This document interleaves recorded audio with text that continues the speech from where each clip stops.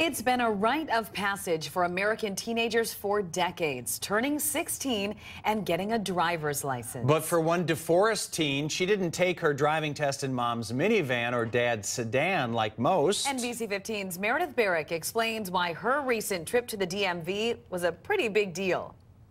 If you really would like to have a lifetime story, It's a challenge you would only receive from your dad. He just kind of put me up to the challenge. He's always kind of pushing me to do things I don't really think I can do. But 16 year old Alexa Horkin was up for it. I said yes to it, and it, Taking her driver's exam in the family's 31 foot RV, that is. as the date approached, there were questions that surfaced that led me to believe that she may or may not be in on that idea. Sure enough, she got behind the wheel of the RV and it was off to the DMV. I just had the mindset of like, it's one time, and then I'll either make the memory, and if I fail, then I'll come back and try again. I don't see any damage yet, Lexi.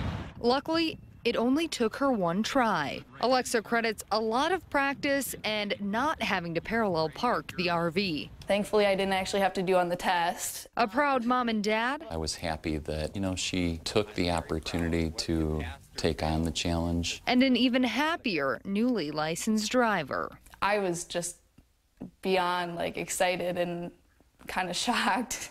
Oh, and don't expect Alexa to be cruising around town in this bad boy anytime soon. that was probably just a one-time thing.